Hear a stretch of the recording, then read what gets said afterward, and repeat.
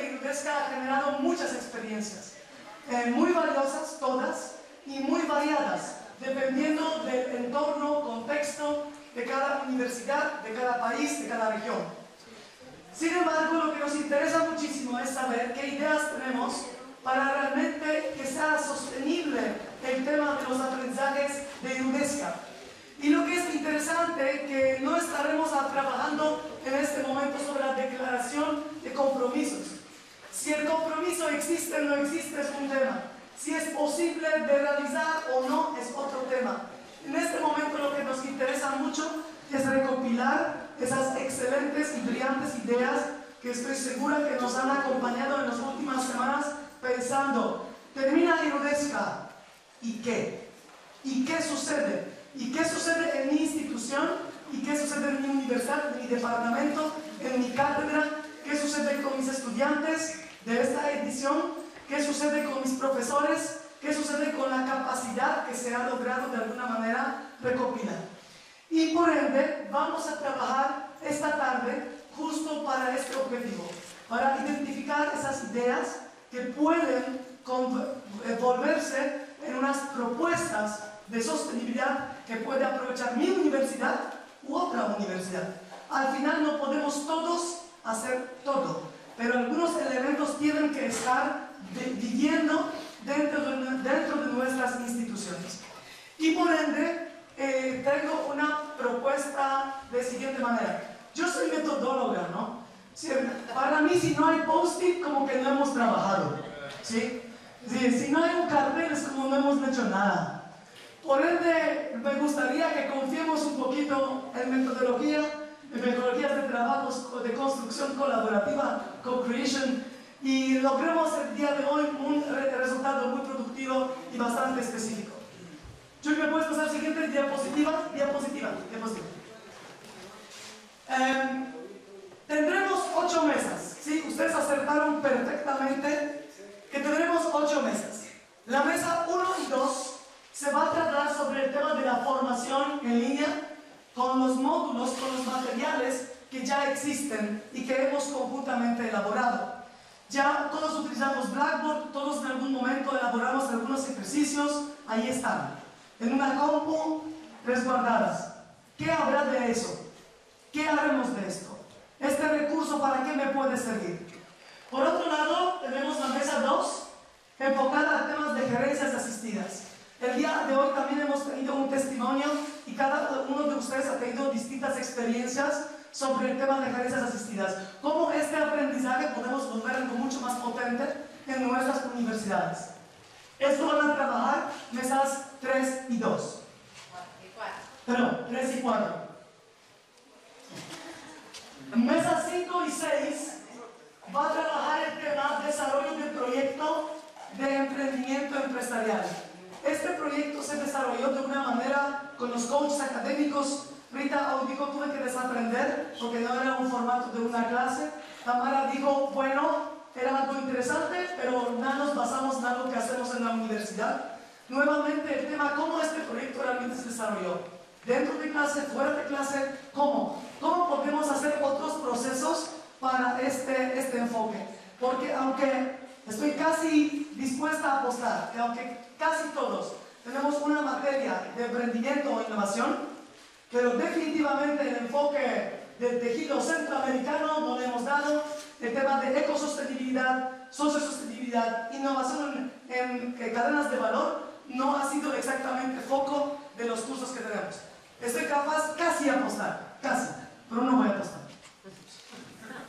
Mesa 7 y 8, Programa Internacional de Prácticas.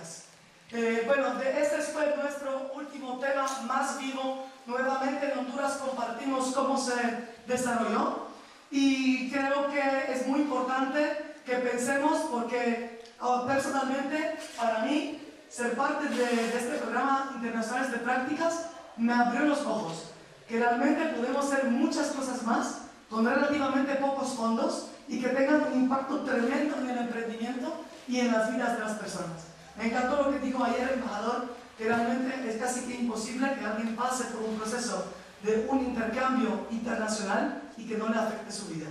Y creo que muchos que estamos aquí en alguna medida somos productos de algún intercambio en algún momento. Pero bien, en el público también tenemos nuestros invitados de las diferentes universidades de los países latinoamericanos y Caribe. ¿Dónde están? ¡Una bulla! ¡Una ¡No me avergüencen!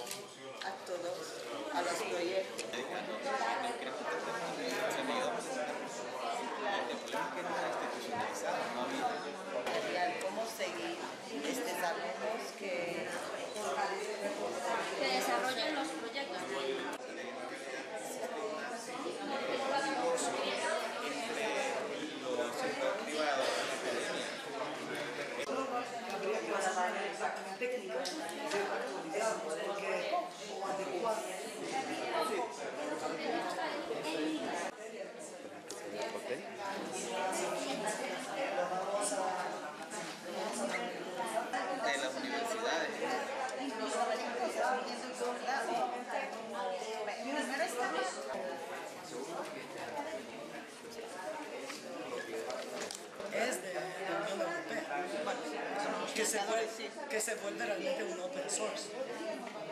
Sí. Sí, sí, sí, sí. O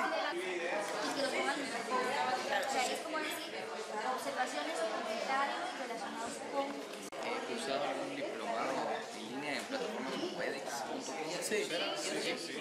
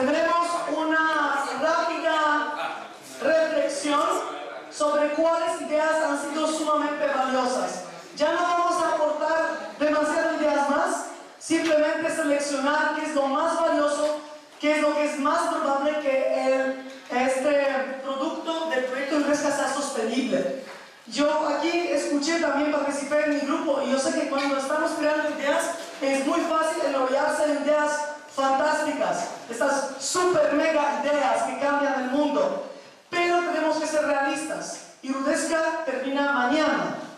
Oh. Sin embargo, su legado, su legado no debe morir. ¿sí? Entonces,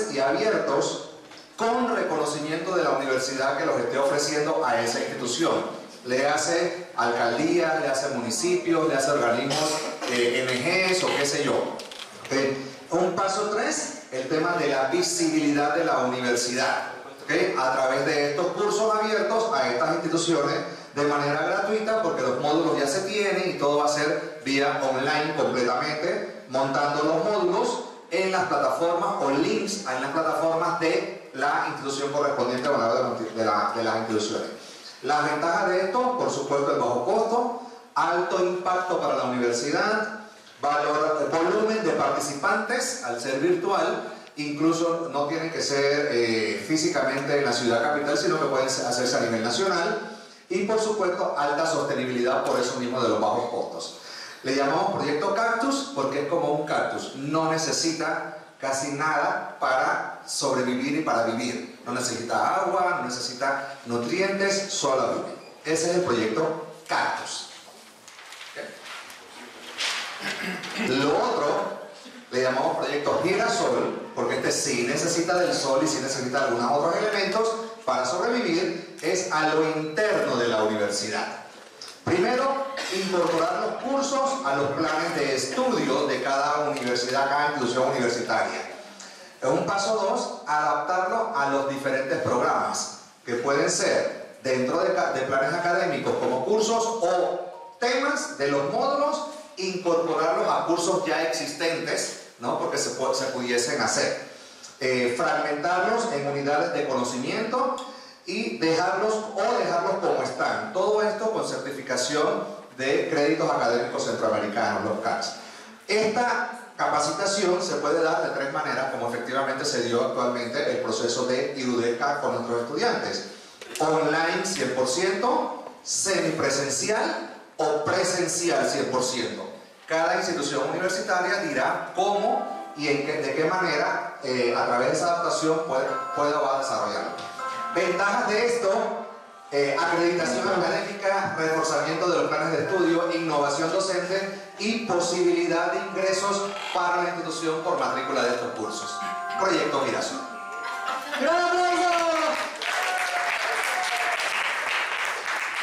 Bien. Nos quedamos, nos quedamos. Para que después recibamos estas dos mesas.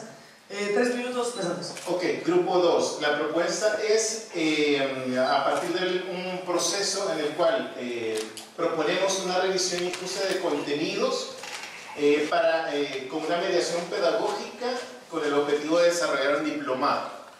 Eh, este diplomado tendría una metodología de acompañamiento y una base autodidacta bastante importante eh, y una parte de formación de formadores, que consideramos que eso fue eh, también parte fundamental del proyecto IRUDESCA. Eh, para esto tenemos una propuesta que como es un enfoque regional, se sostenga eh, la base de los 12 socios del proyecto, eh, trabajando una estructura en la cual, como veíamos por asignaturas, eh, dos universidades trabajen con una asignatura, desarrollándola eh, y especializándola en el tema de producción audiovisual propio, porque consideramos que eso hacía falta un poco para enriquecer eh, la propuesta de diplomado. Eh, módulos y asignaturas, precisamente a partir de esa estructura, eh, con un enfoque de comprensión regional centroamericana, que es lo que hemos sostenido hasta ahorita, y eh, generar o crear ediciones programadas eh, a partir de aplicaciones eh, por cupo, ¿verdad? Pensamos que es un diplomado que debe ser replicado de manera gratuita con una modalidad de becas, ¿verdad? Para que eh, se pueda seleccionar un cupo de, de participantes que lleven el diplomado. Y como último paso, creemos que esto es importante para generar producción científica e intelectual propia de la región centroamericana. De esta manera, esta producción va a venir a alimentar siempre la mediación pedagógica y revisión y ajuste de contenidos, haciendo esto de un ciclo de construcción de conocimiento. ¿verdad? Esa es la propuesta.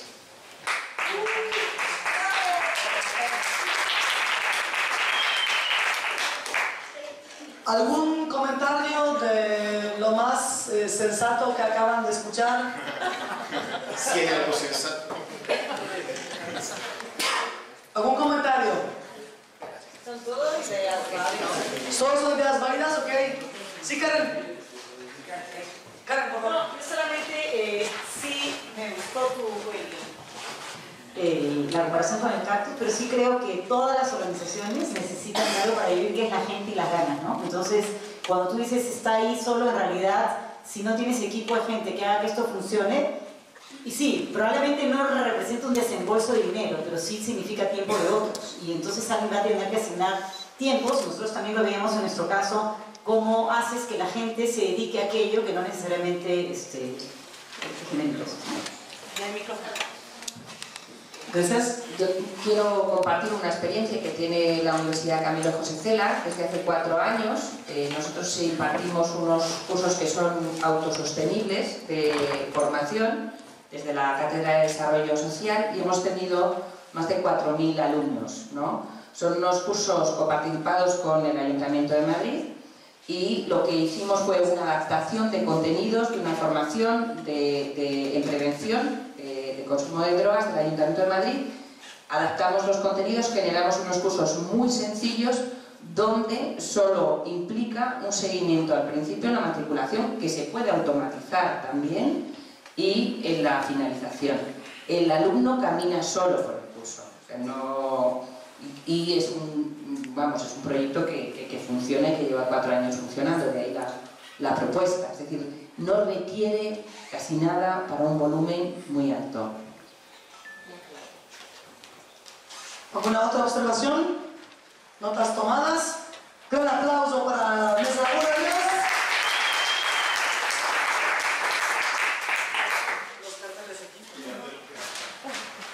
mesa No hay que pegar a nadie, eh, mesas, mesas 3 y 4, por favor. Una porra para las mesas 3 y 4. Una porra de la La porra de la mesa.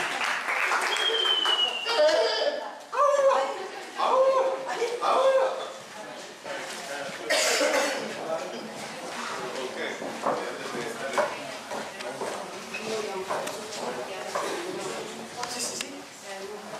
Tres, cuatro. Tres.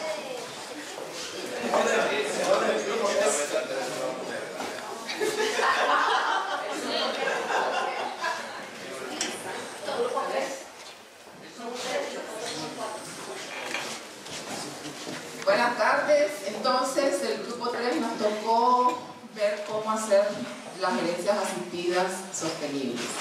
Entonces partimos de una pregunta, o sea, ahorita en este proyecto tuvimos buenos coaches, pero también tuvimos buenos incentivos para los coaches, que eran el, el pago, digamos, de los coaches. Fue un servicio que se le pidió a un eh, empresario.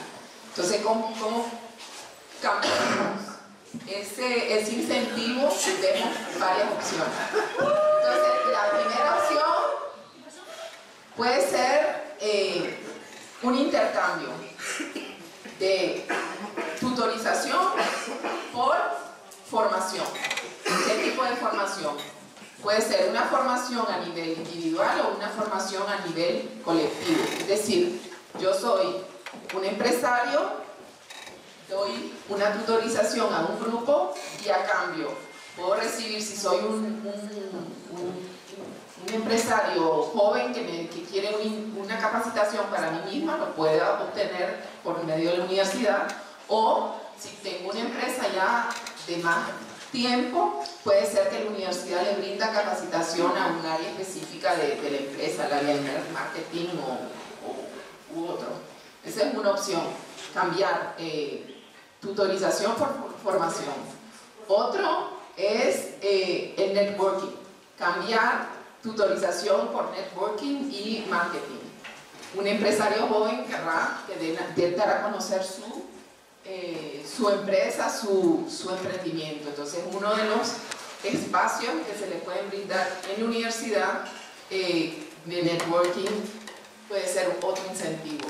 Y el tercer incentivo puede ser eh, la propia satisfacción, porque estamos pensando, por ejemplo, en, empresarios seniors o jubilados. Esos jubilados muchas veces no quieren un incentivo monetario, no necesitan eh, capacitación para sus empresas, lo quieren hacer por voluntariado. Entonces, esa es otra de, los, de las formas que podemos eh, encontrar para incentivar la, la tutorización. Y luego realmente nos preguntábamos cómo íbamos a buscar esos tutores y era creando una plataforma una red, ya sea con diferentes organizaciones que ya están, clubs, eh, Voces Vitales, Impact Hub, cuestiones ya eh, establecidas en cada uno de nuestros países. Yendo también a las asociaciones de alumni, porque todas somos instituciones académicas, eh, los voluntariados, los jubilados y los expertos que pueden ser ya empresarios o micro eh, emprendedores.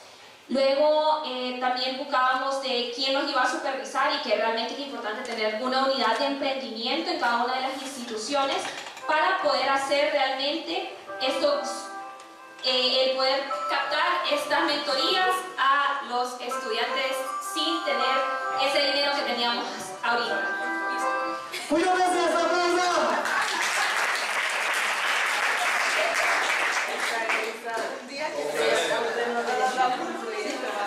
Aquí falta. No has dicho lo, de, lo del dinero, ¿no?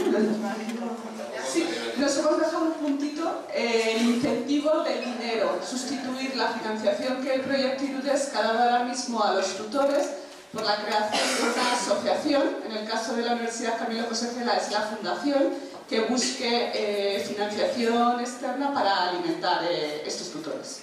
Lo único... Y ya por terminar... No, no, no, ya, ya, eso es abuso. Aquí está, por ahí, ¿ve? Con un incentivo para los mentores podría ser, todos los años nosotros terminamos el concurso de emprendedores por una muestra empresarial y por premio por categoría. Entonces, inventar una nueva, crear una nueva categoría para los mentores. La categoría del mejor mentor. Gracias. Muy bien. Grupo número 4. A ver, le hemos cedido a este distinguido joven futuro gran empresario de Centroamérica sobre todo, el gran honor de sustentar nuestro trabajo en el Grupo 4. Este futuro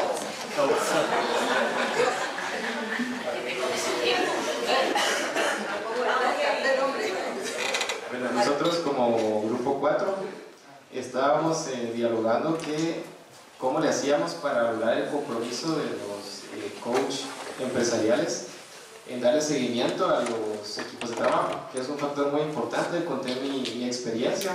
Algunos equipos sí tuvieron esa, ese seguimiento, en, en mi caso eh, escribíamos correos y costó un poquito más que nos respondieran porque no todos están abiertos a, a darle un seguimiento. Entonces generamos estas ideas y al final, al unirlas todas, quedó la propuesta que voy a decir a continuación. que es realizar eh, las convocatorias para las gerencias asistidas, las cuales se realizarían por medio de los gremios empresariales como las cámaras de comercio, para lograr ese compromiso con los empresarios para que realmente se lleve seguimiento. ¿Y cómo se va a sostener esto? Por medio de, de, un establecimiento de una metodología. Y lo vamos a definir por medio de mecanismos y herramientas para identificar las cámaras de comercio, crear acuerdos de entendimiento y crear la unidad de una vinculación universidad-empresa. Esto es lo que, la, idea que generamos. Y sugiero que... Tienen un minuto, no se dejen aquí de presionar demasiado. ¿Algo más? Listo. Entonces aplausos de verdad, por favor. Gracias. Esperen un segundito. Esperen un segundito. Algunas aquí, observaciones, sí. Ahí hay micrófono. Gracias.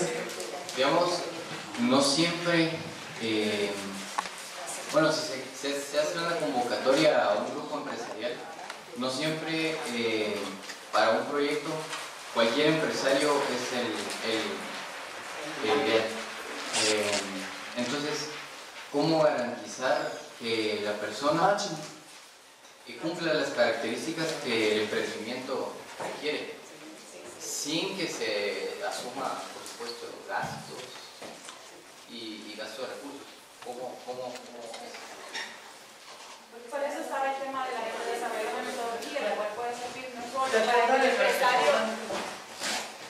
Por eso proponíamos el desarrollo de una metodología, no solo para que el empresario tenga una guía de cómo atender al grupo, sino que para que las, en este caso, si son las cámaras de comercio o las cámaras que sean, puedan identificar el perfil de empresario que se requiere para desarrollar las capacitaciones o la gerencia asistida. Esa es como la propuesta.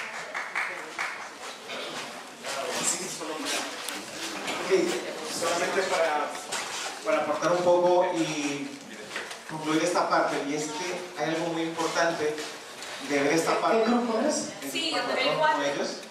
Ah, ok.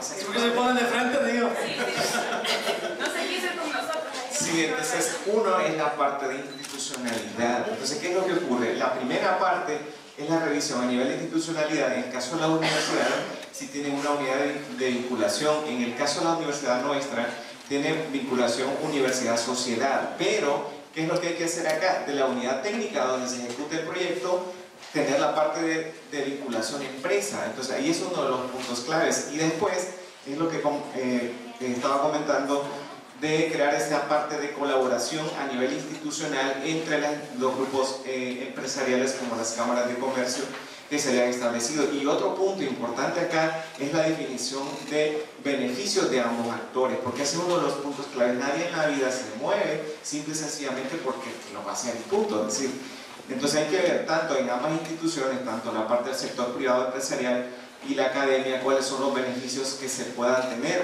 Para el caso nuestro hemos tenido casos que empresarios nos solicitan a nosotros, por ejemplo, que le hagamos un estudio de mercadeo para una determinada marca o producto. Entonces, de esa manera se puede es decir, se hace el estudio y que, que ellos nos devuelvan eso a través del tema del coaching. Entonces, ahí es donde hablamos también de la parte del, del tema del desarrollo de una metodología, que más que todo que metodología es definir los procesos de forma simple y sencilla, en la cual se definan los beneficios de ambas partes. Si eso no se define, no se va a despertar interés, porque eso es lo que realmente ocurre. Solamente. A todos aplauden. Bueno, de acuerdo con, con Olman, nosotros lo planteamos también, qué tipo de incentivos podrían tener, pero regresando a la pregunta tuya, nosotros planteamos, se nos- no nos dieron el tiempo para dar idea. Tiempo De- de, de alguna forma que la, la gerencia asistida viene cuando se supone que ya hay una primera parte terminada del proyecto, ¿ya? Y es para afinar. Entonces que, que los estudiantes hicieran ese paso adicional de hacer un video pitch, de tal forma que pudiera haber como un- una subasta de, de proyectos. Una subasta de proyectos que se lance y donde los diferentes empresarios que tenemos en la plataforma puedan ver qué tipo de eh, match y de incentivos ven por las ideas. Entonces, entre mejor sea el pitch de- del grupo, van a conseguir mejores eh, tutores. Excelente. Nubio, ahí vas a... Eh, me voy a adelantar un poquito al, al tema que tratamos nosotros en nuestra mesa también, pero creo que es oportuno. Y era hablar sobre mantener esa relación con los empresarios eh, durante todo un ciclo, no solo cuando los necesitamos.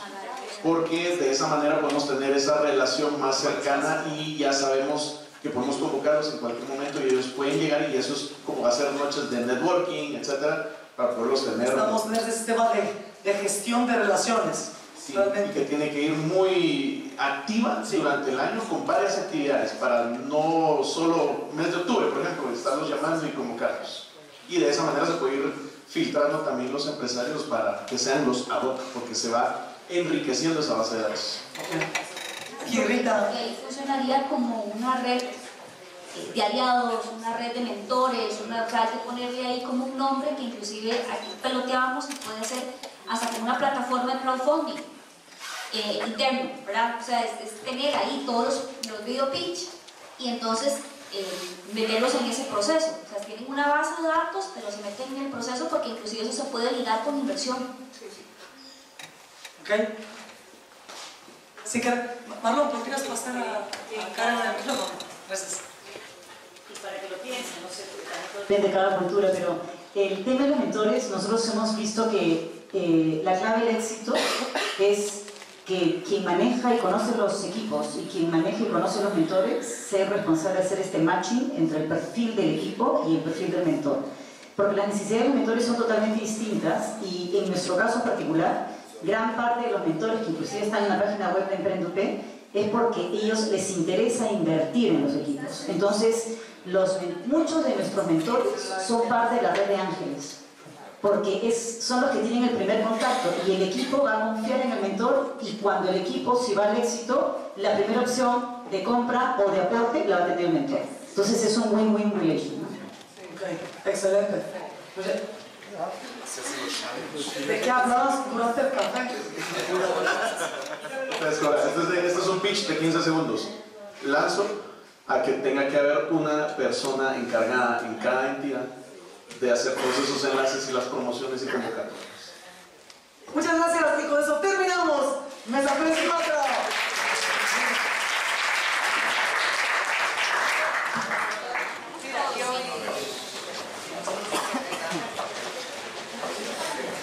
Muy bien. Ya mesa 5 y 6 desesperadamente corre para el escenario.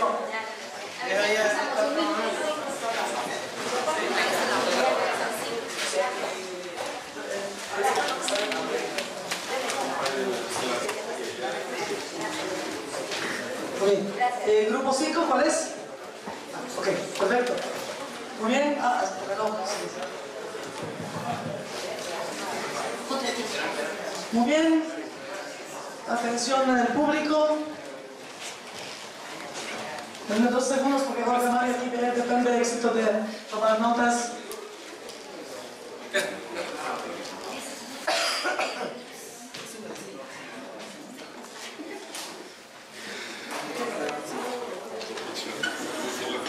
Muy bien. Empecemos entonces. Adelante. Ok, eh, nosotros vamos a hablar de los proyectos de emprendimiento empresarial, pero es inevitable, hicimos una separación y es lo que tiene que hacer la universidad para apoyar el tema, o sea, no lo podemos ver solo. Y además, este, vamos también a hablar un poco cuál es la sostenibilidad que se puede dar a los proyectos que ya existen. Entonces, a nivel de la universidad, hablando de materias, apoyo de, en malla curricular, hablamos de varias cosas. Número uno, eh, el emprendimiento e innovación deben ser competencias transversales.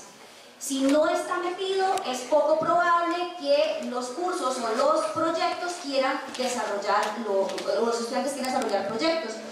Apoyo a las universidades en, en modelos como spin-off, por ejemplo, o sea, donde la universidad tenga una participación eh, accionaria en los emprendimientos. Hablamos también de laboratorio de ideas en universidades, este, eh, el tema de conformación de grupos interdisciplinarios, que vemos que es como muy importante para el éxito o la consecución de los proyectos. Eh, fortalecer temas a nivel de, elementos de administración. Es un poco difícil separar los proyectos de emprendimiento empresarial de la parte de formación. Si ustedes se fijan, hay que devolverse un poquito. Eh, Entonces aquí hablábamos de fortalecer esa parte de administración. Programa de formación de formadores para profesores también, o sea, que sea, eh, esto se meta a nivel cultural en la universidad. Eh, motivar a los proyectos que participen en competencias o expos empresariales a nivel de la universidad o fuera de la universidad. Fortalecer el tema de desarrollo técnico de prototipos para que los estudiantes, o sea, ese proyecto realmente se llegue a materializar. O sea, la idea es que no se queden tantos en el camino, no se desmotiven. ¿Cómo tratamos de hacerlo? Que, que pase de lo teórico a lo práctico. Entonces, por ahí la, la idea de desarrollo técnico de prototipos. Em, por ahí se hablaba de incentivar que todas las carreras se integren temas de emprendimiento para fortalecer la parte interdisciplinaria y desarroll- desarrollar un programa eh, de emprendimiento en vez de materias, o sea, esto fortaleciendo un poco la parte de los módulos. Sí, continuando con los proyectos que a mejor ya se tienen, veíamos la posibilidad muy ligada a la propuesta que ahorita se comentó de fortalecer como esa red de apoyo para los chicos que están eh, ahorita en el proceso como de emprender, ¿no? Uno de ellos sería fortalecer las redes de trabajo, por ejemplo, creando grupos tipo mentoring entre empresarios, ya hay una red de empresarios con los que está trabajando, con la academia, y pa- principalmente para potencializar el seguimiento, ¿no? O sea, que realmente se, se llevan al, al- emprendimiento. Y otro, generar eh, esquemas tipo de coinversión, ligado lo que se trabaja en Ángeles Inversionista con los empresarios que ya se tienen, ¿no? Si el mismo empresario ya los está acompañando, coachando, pues es el primero que se está enamorando del propio proyecto. Entonces, buscar ahí los mecanismos para que él mismo le pueda invertir, similar a lo que ya se había comentado hace algunos momentos. Eh,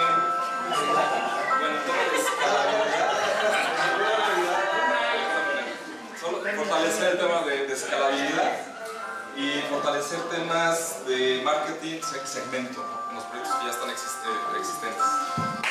Gracias, presidente. Yo estoy ayudando a la capacidad de síntesis. Cuando suena música de fondo, de repente ya fluye más rápido. Asustas, Elisa, asustas. No. General. Mira, ah, no. Bien, después del trabajo de grupo llegamos a las conclusiones de cuatro mecanismos de sostenibilidad para el proyecto, específicamente para los cuatro proyectos de emprendimiento empresarial elaborados en el marco del proyecto. El primero es el rescate inmediato de los proyectos que no continuaron mediante la conformación de un equipo multidisciplinario y asesores que acompañen el nuevo proceso dirigido a los tres grupos meta. Decimos un nuevo proceso porque ya la universidad se encargará de la sostenibilidad del acompañamiento de este proyecto. Entonces, invitar a los ganadores de la práctica internacional, los que no ganaron la práctica internacional y nuevos proyectos emprendedores para que juntos formen este equipo multidisciplinario y puedan tener un mayor asesoramiento en todos los proyectos. Segundo, establecer alianzas estratégicas para el seguimiento de los proyectos, es decir, si la universidad no tiene una incubadora, poder conectarse con otras incubadoras de negocios o empresas o buscar egresados que tengan emprendimiento de tal manera que se puedan conectar a estos estudiantes para eh, la financiación de su proyecto. Y tres, incorporar el seguimiento de estos proyectos en los planes institucionales, en las políticas institucionales o planes operativos de las unidades académicas, porque tiene que haber una unidad académica, una dirección o un área que se encargue de lo que nosotros estamos proponiendo, es decir, que le dé la sostenibilidad a estos proyectos. Y cuatro, definir el impacto y la- el beneficio de ambas partes, si vamos a buscar alianzas con empresarios, con incubadoras, cuál es el beneficio, el impacto que va a generar para cada una de las partes. En este caso puede ser empleo, asociatividad, nuevas empresas, nuevos productos, que queden conscientes el impacto que va a tener cada uno de ellos. Entonces son cuatro mecanismos que las universidades consolidamos que podemos hacer para la sostenibilidad de estos cuatro proyectos de emprendimiento.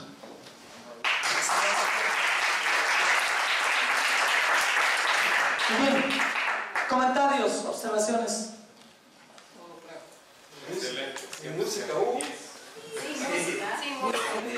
Eso fue el tiempo.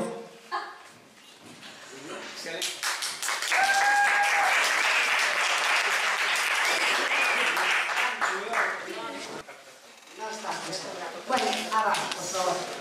Eh, entonces, nosotros sobre las PIP eh, creemos que hay que tres ejes eh, necesarios para eh, eh, sostenibilidad eh, de las PIP. Primero es institucionalizar el programa dentro de las organizaciones y interorganizaciones.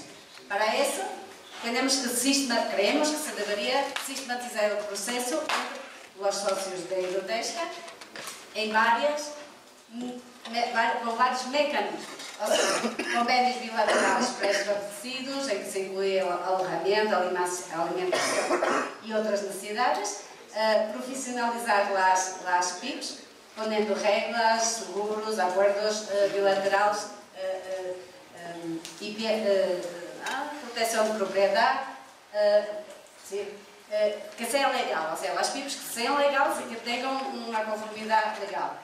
Creemos que se poderia ou deveria aumentar a duração em tempo de, de que poderia ser algo mais eh, eh, eh, el tiempo.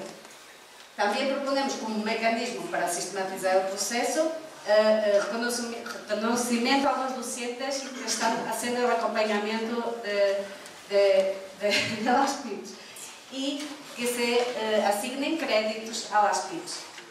Esto como parte de la sistematización del proyecto, del proceso. Y otra línea que proponíamos era incluir las PIB en, eh, en las carreras ya existentes. Al final, con mayor duración. Esto aquí eh, va siempre a necesitar el compromiso y, y involucramiento de la alta dirección. Una segunda, eh, eh, segunda línea que creemos necesaria para la sostenibilidad es encontrar fin- financiamiento. Financiamiento, eh, proponiendo, por ejemplo, al Zucker o a- al gobierno que financie las PIPs incluir empresas patrocinadoras de las PIP, eh, incluir los business angels eh, en las PIPs ou entonces fondos criados em rede. Outra terceira linha que consideramos eh, interessante é incluir ou reforçar alianças através de projetos regionais que incluam PIPs como requisito indispensável, abrir e intercambiar, trabalhar com, com outros eh, projetos em outros países e, e, e continentes, formalizar a relação com organismos profissionais e câmaras de comércio, criar uma, que mecanismos também creemos que, que são importantes eh, cara às alianças. Criar uma bolsa de empresas receptoras de PIPs eh, e acreditação eh, eh, conjunta de, de las. Por, por, por exemplo, nossa ideia é que a PIP pueda funcionar em todos os países a la vez e que pueda ser acreditada em todos os países a la vez. E que haya mobilidade entre os alunos. Entonces é necessário, necessário, como requisito, comunicar o projeto Ironesca em linha, replicar o modelo Ironesca, abrir e compartilhar o projeto a outros grupos. E para isso é necessário confiança, colaboração, compromisso, ou seja, ética.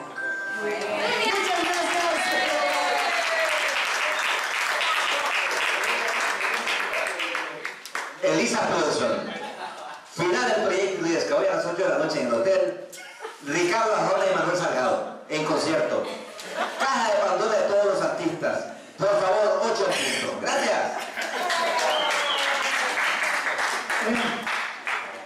Grupo, Grupo H, adelante. Encantadores. Ya, sí. Ok, buenas tardes. Vamos a tratar de correr aquí con algunas cosas que hemos anotado. Coincidimos eh, evidentemente con el compañero, muchos de los temas que han señalado, y nosotros desarrollamos una dinámica en donde una división como en dos dimensiones de lo que nosotros proponemos para que este tema de las pasantías sea sostenible. En primer lugar, partimos de la premisa de que algo es sostenible o puede subsistir en el tiempo si se mejora, si se optimiza. Y creemos que no obstante el programa como tal cumplió los objetivos que el proyecto se había establecido, hay algunas oportunidades de mejora que debemos interiorizarlas, ser reflexivos, ser honestos y, y- y reconocerlas. Creemos por lo mismo que debe hacerse énfasis en el desarrollo de un protocolo mucho más específico que identifique de forma no tanto orientativa, sino que muy clara las responsabilidades y funciones que va a tener cada uno de los miembros que participe del proyecto. Igualmente creemos que deben haber algunas guías operativas que señalen con mucha especificidad algunas actividades que se van a desarrollar, como eh, actividades de comunicación en base a criterios entre, eh, digamos, quien recibe y quien envía estudiantes, que haya guías sobre eh, expectativas de lo que se va a hacer en la pasantía, que de igual manera hay algún equipo de seguimiento y no digamos de supervisión, quizás de monitoreo para garantizar que las expectativas del que va a un lado se vean cumplidas en función de lo que el otro le ofreció o la agenda técnica que le armó. Y digamos toda una serie de aspectos como por ejemplo eh, establecer la figura, si es posible, de un mentor que acompañe al equipo permanentemente en el lugar que recibe para captar las experiencias diarias que se van dando en el tema de la pasantía. Eh, y también que es posible, en los casos que lo merite, que la pasantía tenga un enfoque un poquito más regional que permita abordar algunos proyectos que quizás tienen eh, algunas características muy particulares que en el país para donde se va a desarrollar esta pasantía no está totalmente, digamos, construido el impacto, los aspectos técnicos de los que ellos necesitan conocer y que pueda haber traslado entre países para, para y que eh, en términos generales digamos, debe haber un- una lectura de resultados a partir de lo que se logró, no solo a través de la visión de los estudiantes, sino que de cada uno de los, miembros como un enfoque 360, en donde se cuantifica incluso aspectos técnicos en base a, a criterios bien establecidos. Aquí le doy aquí la batuta. 30 segundos. La sostenibilidad. Show me the money. ¿Cómo vamos a generar esto que sea realmente sostenible a lo largo del tiempo? Relacionamiento o, sí, de la universidad con el ecosistema de emprendimiento y las pymes del país para poderlas convocar. Grupos de alumnos busquen y realicen asociaciones y actividades para obtener plata. Esto es crear tal vez un fondo inicial y que después de eso los alumnos van generando sus propios recursos para poder pagar ese, ese viaje hacia los otros países. Eh, crear mecanismos solidarios donde. Me quedo con este. Un encargado por proyecto en cada universidad. Esto creo que es muy importante para que fomente esa unión entre el ecosistema de las empresas, mentores, alumnos, gobierno, que sea designado. Puede ser uno por dos universidades o uno por país, pero tiene que haber alguien.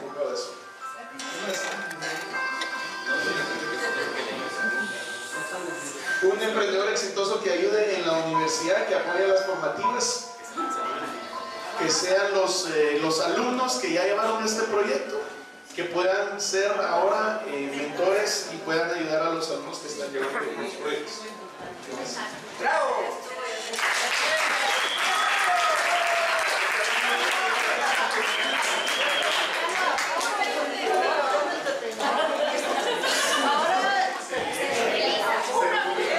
Micrófono abierto, aquí hay ya unas participaciones. Samuel, ahí hay micrófono.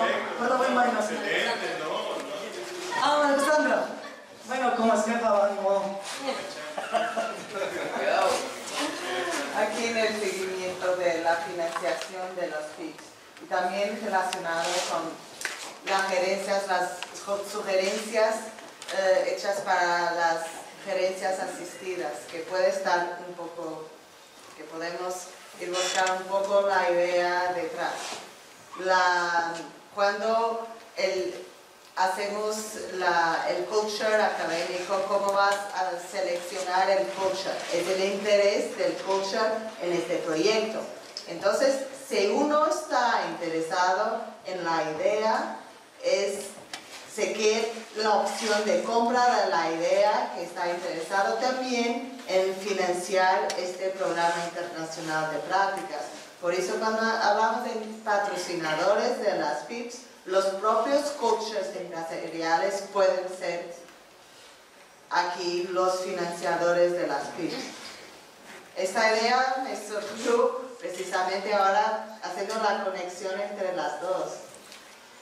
Bueno, nosotros tenemos entre la propuesta buscar una marca regional, así como una telefónica, Coca-Cola o algo así, una marca grande, que sea el patrocinador, que, que sea el patrocinador, que la marca esté en todos los países y eso es sumamente atractivo. Entonces eso es como una recomendación que tenemos. Aparte la responsabilidad social empresarial que deben de tener las empresas. Yo, mi única eh, duda eh, relativamente a los coaches seriam os financiadores do APIP, porque van a comprar la idea. No, una posibilidad de comprar. Sí, no pero tienen es que comprar. si esto fuera, eh, si en, en un mundo ideal, si ellos hicieran, los alumnos hicieran esto todo, la idea sería que crearan su propia idea, ¿no? O sea, implementar el emprendimiento. Entonces, mejor, por eso ponemos aquí la propiedad intelectual, mejor que la idea esté siempre prote- protegida, porque si el alumno quiere emprender, eh, eh, que no hay esa opción de que se pierda por el No, yo no estoy, no estoy diciendo que la opción de compra que estamos hablando aquí formalmente, no hay que tener una opción de compra, no, no, pero es el interés, solo el interés. Si estoy interesado en que desarrollar este, esta idea de negocio, que puedo financiar, pero no hay, no tengo la opción de compra, que que la autoría, la opción de compra es muy fuerte, la, la palabra, no.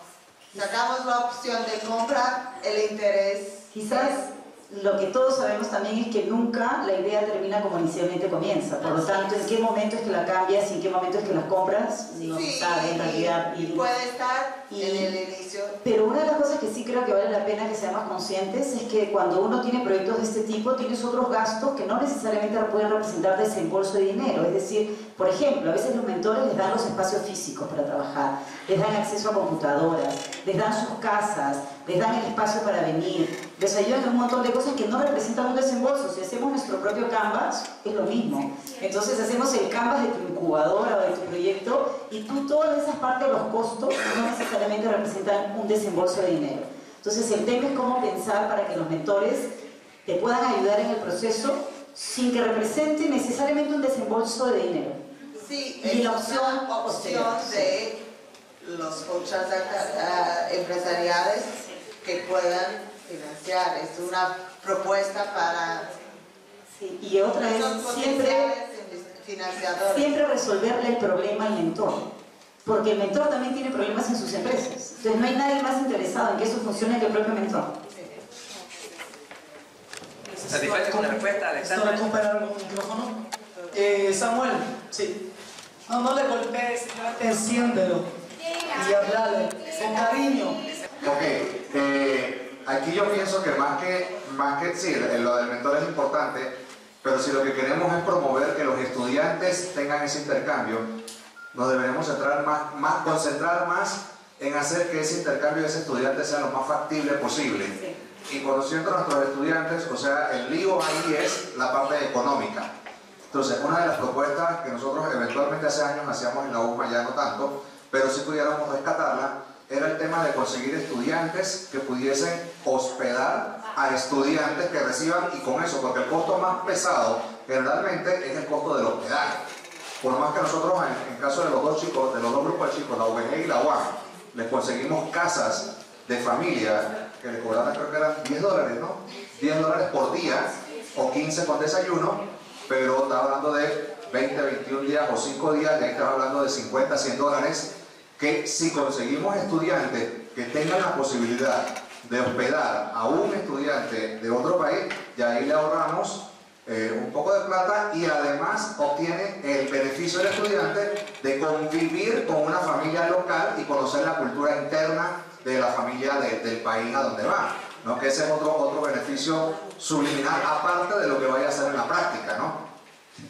Muy bien, yo creo que no requiere mayor comentario esta intervención, excelentísima idea. ¿Podrías pasar eh, a Minor? Eh, el desiderato pide la palabra. Gracias. Eh, sí, hay algo que, lógicamente, como estos son los, eh, estos son los temas que tratamos, se nos ha escapado. ¿Qué tiene que ver con todo esto? Nosotros pues tuvimos los GTL, grupos de trabajo nacional, pero eh, si tan solo eh, no hubiésemos hablado de GTN, sino de grupos de apoyo nacionales, y esos grupos de apoyo, hasta su nombre lo dice, gana, ¿ah? grupos de apoyo nacionales, gana. Entonces, eh, ese grupo de apoyo, viéndose así, hubiéramos eh, podido tener más personas eh, participando. Porque cuando decíamos, los invitamos a formar parte del grupo de trabajo nacional, entonces la idea es, de un proyecto donde yo no estoy, yo no sé, yo voy a irme a un grupo de trabajo. Pero si estamos hablando de un grupo de apoyo, ese grupo de apoyo sirve para, para la gerencia, para captar. Es decir, sí, mí me, me interesaría ser de ese grupo de apoyo. Y eso puede ser académicos y empresarios. Los académicos, los egresados, ambos, egresados de las propias universidades. Y a uno le gusta, eh, cuando uno le invitan a, a forma- a formar parte de un grupo que va a apoyar el, emprendedurismo y la innovación, y le están diciendo a uno que, que- uno, uno puede ser parte de ese grupo. Cuando se convoca, lo más probable es que sí logremos una buena convocatoria. Y de ahí salen los, las personas que van a apoyar en todo esto, en gerencias asistidas, en el, en- desarrollo del proyecto de, de emprendimiento empresarial y en el programa internacional de práctica. De ahí puede surgir, eh, por ejemplo, en las universidades existe lo que se llama Mi casa es tu casa, es lo que dice. Entonces, ahí, ahí se, se puede conseguir todo esto. Pero para el próximo proyecto yo sugiero que no se llame GTN, sino GANA, Grupos de Apoyo Nacionales. Está bien. Solo Eduardo, no solamente quería eh, ratificar lo que han dicho antes los, los compañeros, ¿no? En, en España, en los centros escolares, en los centros públicos, hay un programa de intercambio eh, de alumnos eh, que se hace en todos los centros públicos, ¿no? De intercambio de, de alumnos de secundaria a nivel europeo. Y lo que hacen es que va un aula, eh, lo reciben en un colegio, en las casas, y luego los mismos lo reciben. Yo creo que eso también, que es, eh, si, ya lo estáis haciendo aquí, pero si los alumnos involucrados, en siempre que puedan, generar ese intercambio, siempre que eh, tengan una situación oportuna para poder recibir a alguien en su casa. ¿no?